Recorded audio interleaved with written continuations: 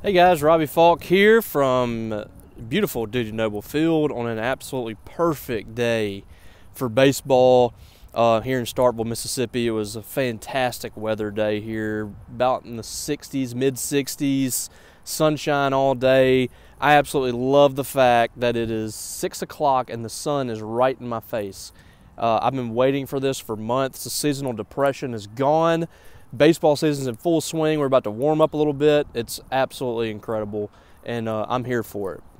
As far as the sports are concerned this week, Mississippi State baseball, really good week. Back to back good weeks for the Bulldogs, by the way. They're on a nine game winning streak, which is the longest since 2021. So you're starting to see this team come out of its shell a little bit. Now, they haven't played a great schedule, but this is a team that didn't do things well against anybody last year. It didn't matter who they were playing. They couldn't pitch it. They couldn't defend. Offense was okay the last couple years, but pitching and defending was the big issue for them. It doesn't really matter uh, when you look at the schedule who Mississippi State has played at this point. The fact that they are competing with the strike zone, throwing strikes, getting ahead of counts, not walking a lot of guys, not hitting a lot of guys, not booting the ball around defensively. They're making plays in the field. That is a tremendous step forward for Mississippi State. And uh, there's going to be a lot of people that's going to be skeptical of this team, and you have that right to be skeptical. But the fact that they're doing these little things right at this point, I think, is a huge step forward, and that's where you got to start. Um, they're in this spot because of you know you know where they are with the the coaching staff not being able to sustain the success in Omaha.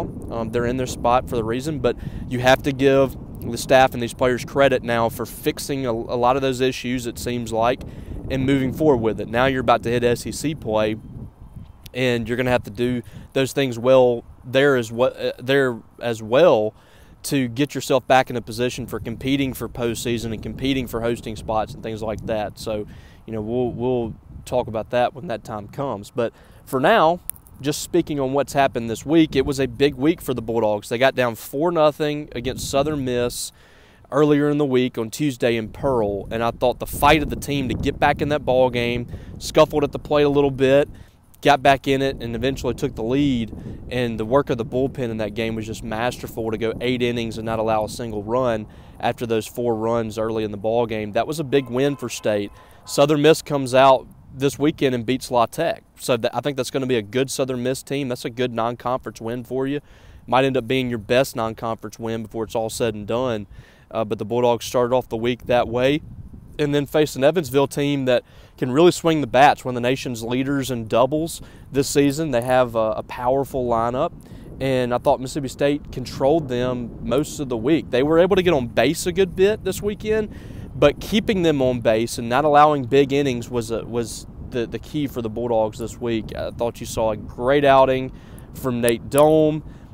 Still want to see you know how he comes back from whatever was bothering him late in that ball game. It was kind of scary to see him, you know, shaking off his arm a little bit. Hopefully that's not a long-term issue and that was just uh, you know something that's just bothering him for a couple of days. You can get him back out there because I thought he pitched really well on Friday night. Thought Khal Stephen had a second straight really good performance on Saturday, and then Jurrangelo Cijntje uh, on Sunday comes out, gives up three runs on a three-run homer in the fourth inning. Other than that, he was flat dominant. Ten strikeouts. I think walked three guys. Um, and the, the fourth inning was really the only inning where he encountered any kind of issues. Came out there and gave up a couple hits, gave up a three run home run, and that's the only time that Evansville really threatened this game. So I don't really hold that inning against him uh, for his performance. Four really good starts from Jurrangelo now in non conference play. Was 3 and 0 had a no decision in a game that he pitched really well also and uh, i don't think he gave up other than today uh, I don't think he gave up more than one run in the other three starts. So you have right now three really good starting pitchers on the weekends. Now, can Mississippi State stack that and do it in postseason or in SEC play? Because if they're getting those starts in SEC play, where they're getting into the sixth, seventh inning, where they're starters and they've held teams to two or three runs or less, uh, I think you have a really good chance to get into postseason this year. And I, I think state's been trying to find – even two starters for the weekend the last two years and haven't been able to do it. if you can have these three guys go for you on the weekend and you feel good about all three of them, I think State is in great position because I really feel like this team's going to hit. They they haven't at times this year, but they're coming out of it a little bit here uh, this weekend, and uh, that's another thing I wanted to talk about is what they did offensively this weekend. Saturday, Friday they did leave some opportunities out there, but a lot of it was kind of tough luck yesterday on Saturday in the win for the Bulldogs, really timely hitting from some guys. Uh, Dakota Jordan has just been fantastic. I, am going to be shocked if he's not the SEC Player of the Week. Four home runs, hit a home run in four straight ball games. Had another one on Sunday in the first inning. They had to walk him three times, three straight intentional walks to Dakota Jordan. He is uh, really starting to see the ball well. This is about the time last year when he did it too. Uh, if you remember, got benched in middle of non-conference play, just wasn't seeing the ball very well. Then he took over in left field and never let up, and was second or third best hitter in SEC play as a true freshman.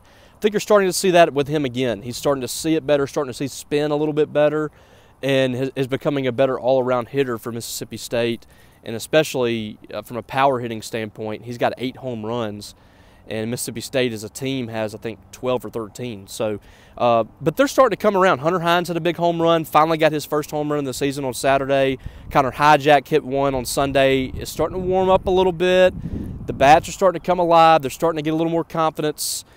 If you're pitching it well, you're defending well, and now this team starts hitting it well, now you start talking about a team that's getting back on track. And I don't want to jump to you know too many conclusions on this team and start projecting Omaha or anything like that, but I do think that you see some major improvements, and major improvements may still mean that this team is not a great team. Uh, we just, we don't know yet, but I do know that they uh, do not look like a bottom of the SEC team right now. This looks like a team that can compete a little bit in games. They have not been competitive in SEC games in the last two years. You know they've they've lost a ton of games uh, by run rule. They've won nine games last two years. You know, I, I think this is going to be a better team. How much better from a win last loss perspective is the question. Uh, because they're facing a gauntlet of the schedule. They have LSU coming up this weekend, which is a top three team nationally, I think. Um, you got Florida, you got Texas A&M. The first three weekends are brutal.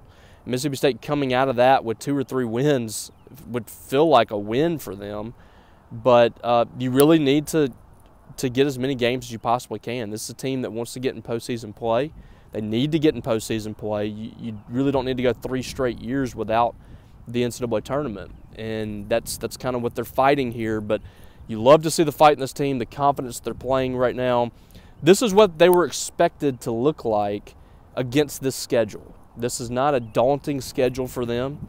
They haven't played, uh, you know, the gauntlet in non-conference play. They haven't played um, very many teams that are going to make postseason. So it, it, was a schedule built to get the team's confidence level up, to get some wins up before SEC play.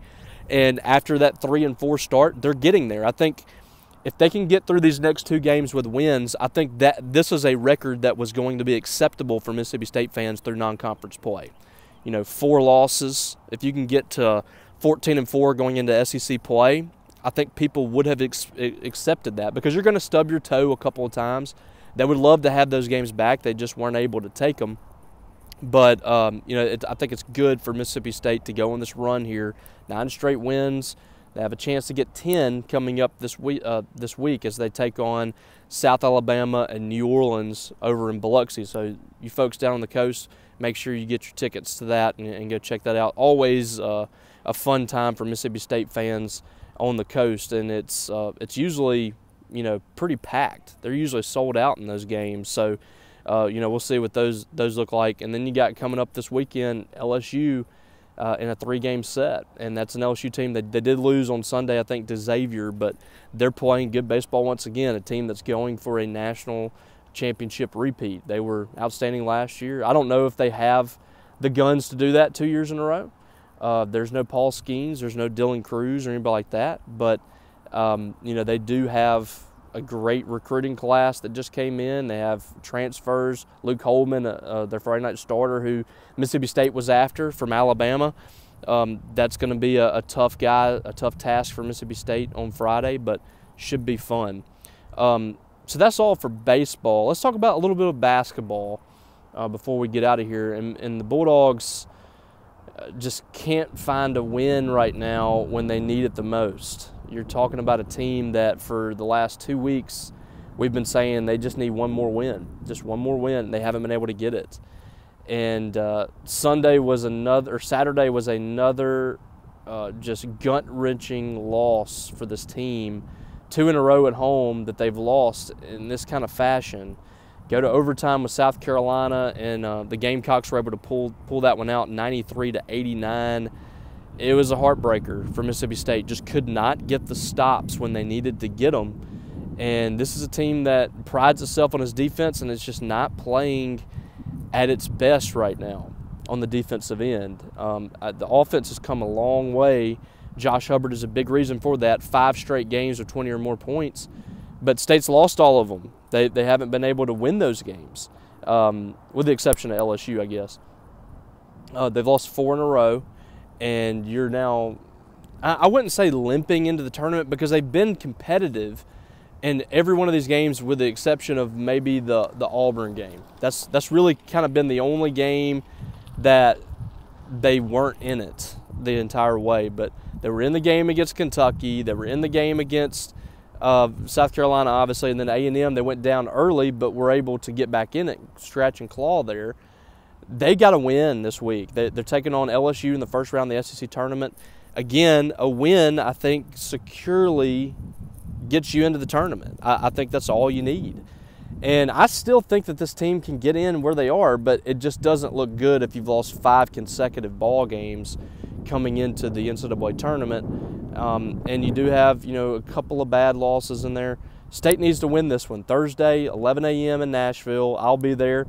Um, probably have a, a, post game or something from there. We'll, we'll talk about it. But uh, it's a big one for them and for their NCAA chances. This is a team that a few weeks ago was a shoe in, and now you're, you're searching for that final win. It's been a very difficult schedule, and I, I think you have to give credit to Mississippi State for you know fighting in these games, but they just don't have that extra win. They really need that extra win, and the the one that kills you right now is that Southern loss that you have. You win that ball game, we're not even having this conversation. I don't think we ever would have had this conversation. I think State's safely in, but that one's pulling you down a few RPI or net points and um, it's, it's hurting you right now. Um, and there's been other opportunities. I mean, they've had chances to uh, eradicate that, but all these quad one opportunities, they haven't been able to grab that one extra win, and that's what's uh, kind of eluding them right now. They need to win this one against LSU. They lose this one, I don't know if they get in. I, I, I just don't think I, think it's going to be tough. But I think there's a, a window there, but you're going to be sweating it out. And, uh, you know, kind of, sorry, the wind's blowing this phone.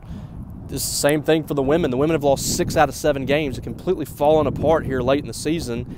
Charlie Creme has them in their last in his last four in. They're actually the last team in in the NCAA tournament, which I think they were second to last last year.